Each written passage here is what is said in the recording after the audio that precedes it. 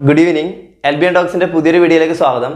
ഇന്നത്തെ വീഡിയോയിൽ നമ്മൾ നോക്കാൻ വേണ്ടി പോകുന്നത് രണ്ട് ദിവസം ബാക്കിൽ ഒത്തിരി ന്യൂസുകൾ ഡയർ സെല്ലിംഗ് ആയിട്ട് ബന്ധപ്പെട്ട് വന്നിട്ടുണ്ടായിരുന്നു. ഒരുപാട് അപ്ഡേഷൻസ് കേരള ഗവൺമെന്റിന്റെ ഭാഗത്ത് നിന്ന് ഡയർ സെല്ലിംഗ് ഇൻഡസ്ട്രിക്ക് വേണ്ടിയിട്ട് ചെയ്യാൻ വേണ്ടിയിട്ട് പോകുന്നുണ്ടായിരുന്നു. അതുപോലെ തന്നെ ചെയ്തുകൊണ്ടിരിക്കുന്ന ഒരുപാട് കാര്യങ്ങൾ നമ്മൾ അറിഞ്ഞതാണ്. അപ്പോൾ അതുമായിട്ട് ബന്ധപ്പെട്ട വളരെ പ്രധാനപ്പെട്ട ഒരു ന്യൂസ് ഇന്ന് ഒരു പത്രമാധ്യമത്തിൽ കാണാനിടയായി.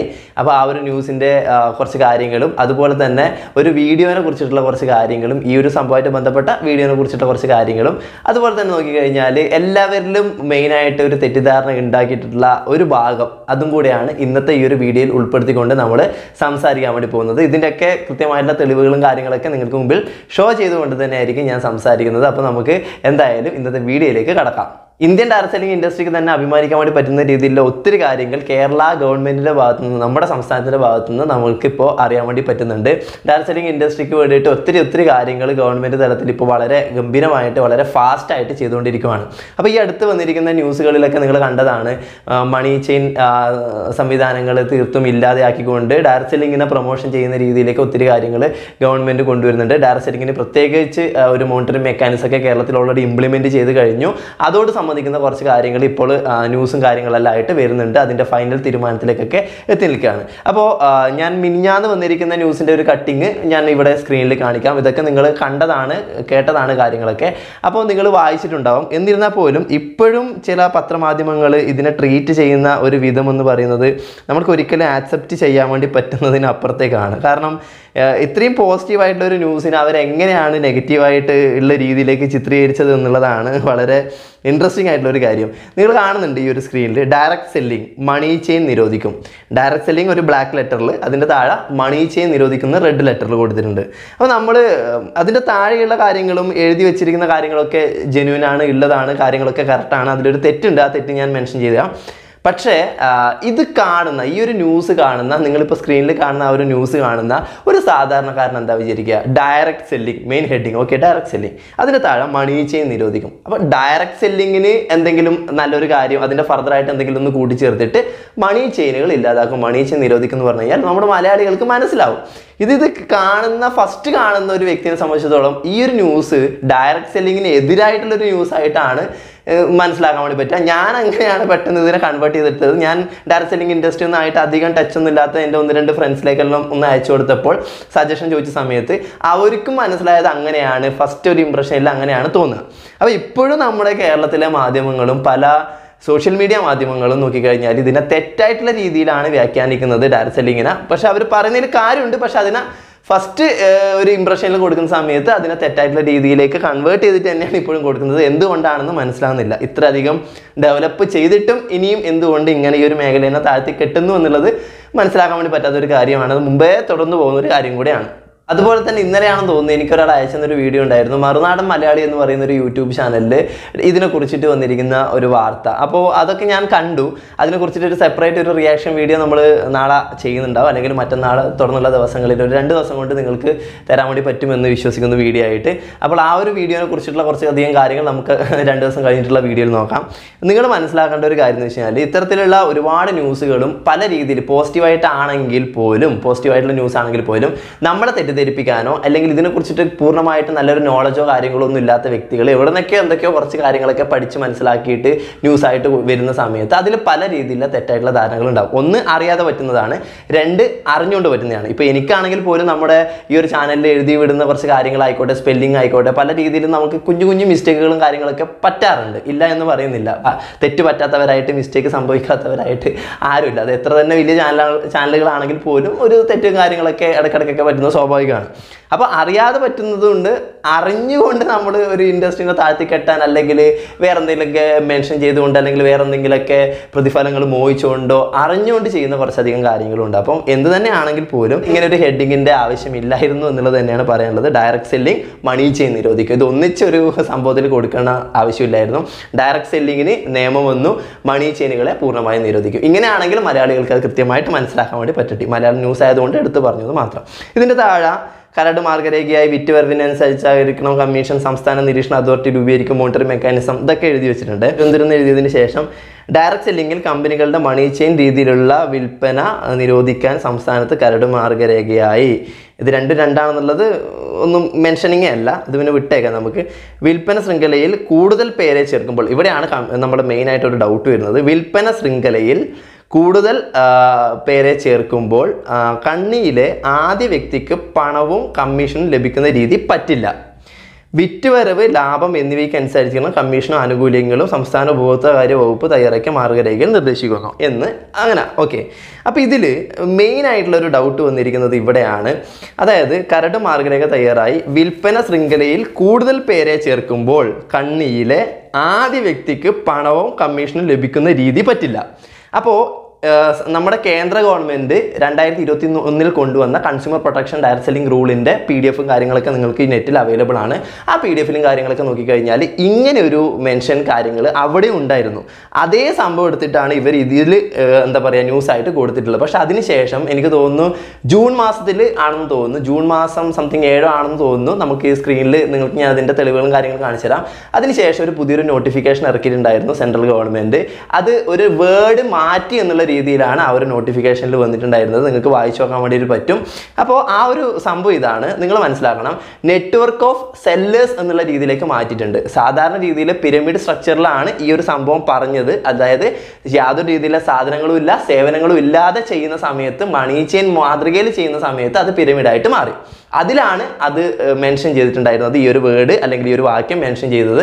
നമ്മൾ നിൽക്കുന്ന മേഖലയിൽ ഡയറക്റ്റ് സെല്ലിംഗ് എന്ന് പറയുന്ന സമയത്ത് നമ്മൾ നെറ്റ്വർക്ക് ഓഫ് സെല്ലേഴ്സ് ആണ്. അതായത് നമ്മൾ ഒരു സെല്ല് ചെയ്യുന്ന ഒരു കമ്മ്യൂണിറ്റിയാണ് ഈ നെറ്റ്വർക്ക് ഓഫ് സെല്ലേഴ്സിൽ തീർച്ചയായിട്ടും ഇതിന്റെ കമ്മീഷൻ ഡിസ്ട്രിബ്യൂഷൻ ചെയ്യാം. നെറ്റ്വർക്ക് ഓഫ് സെല്ലേഴ്സ് എന്നുള്ള രീതിയിൽ സെല്ലിംഗ് എന്നുള്ള ഒരു എലമെന്റും കൂടെ വരുന്നുണ്ട്. അപ്പോൾ ഇതൊരു പ്രൊഡക്റ്റ് ഉണ്ട് ഒരു സർവീസ് ഉണ്ട് എന്നുള്ളത് കൊണ്ട് തന്നെ അത് കുഴപ്പമില്ല എന്നുള്ള രീതിയിലേക്ക് പുതിയൊരു നോട്ടിഫിക്കേഷൻ കാര്യങ്ങൾ വന്നിട്ടുണ്ടായിരുന്നു.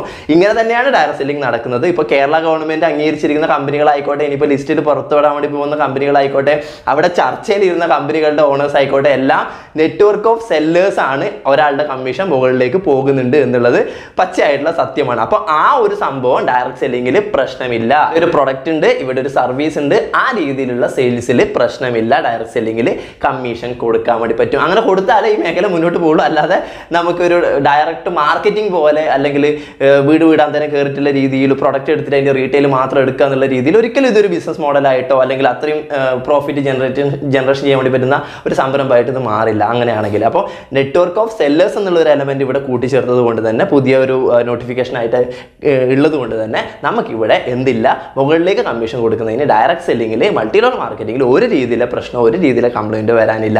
അങ്ങനെയാണെങ്കിൽ അവിടെ സംസ്ഥാന ഗവൺമെന്റ് വിളിച്ചു വരുത്തിയ മീറ്റിങ്ങിൽ വന്നിരിക്കുന്ന എക്സ് വൈ സെഡ് എല്ലാ കമ്പനികളും ഇതേ രീതിയിലുള്ള കാര്യങ്ങൾ ചെയ്യുന്നതാണ്. അപ്പോൾ തന്നെ അതിനൊരു റെസ്ട്രിക്ഷനും കാര്യങ്ങളൊക്കെ ഗവൺമെന്റ് പറയും. പ്ലാനും കാര്യങ്ങളൊക്കെ ഓൾറെഡി ചേഞ്ച് ചെയ്തിട്ടുണ്ടാവും. പക്ഷേ അതൊന്നും നടന്നിട്ടില്ല. അപ്പോൾ ഇതെന്താണ്? ഡയറക്റ്റ് സെല്ലിങ്ങിൽ ഇത് പോസിബിൾ ആണ്. യാതൊരു രീതിയിലും കുഴപ്പമില്ല. ഇതാണ് നിങ്ങൾ മനസ്സിലാക്കേണ്ട വളരെ വളരെ പ്രധാനപ്പെട്ട ഒരു പോയിന്റ് ഇതിലാണ് പലർക്കും പല രീതിയിലുള്ള ഡൗട്ടുകളും ഉള്ളത്.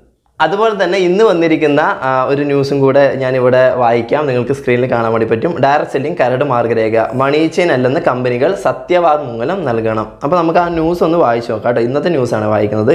നമ്മൾ മുൻപത്തെ ദിവസങ്ങളിലെ ന്യൂസ് ഒന്നും വായിക്കുന്നില്ല. നിങ്ങളൊക്കെ കണ്ടതാണ്. പക്ഷേ ഇന്ന് വീഡിയോ ചെയ്യുന്നതുകൊണ്ട് ഇന്നത്തെ ഒരു ന്യൂസും കൂടെ വായിക്കുന്നത് മാത്രം.